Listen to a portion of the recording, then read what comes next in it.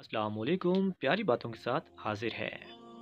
इंसान सारे ही खूबसूरत होते हैं, मगर बाहर की खुशबू किसी किसी में से आती है, हज़रत शाह अब्दुल लतीफ़ बिटाई फरमाते हैं।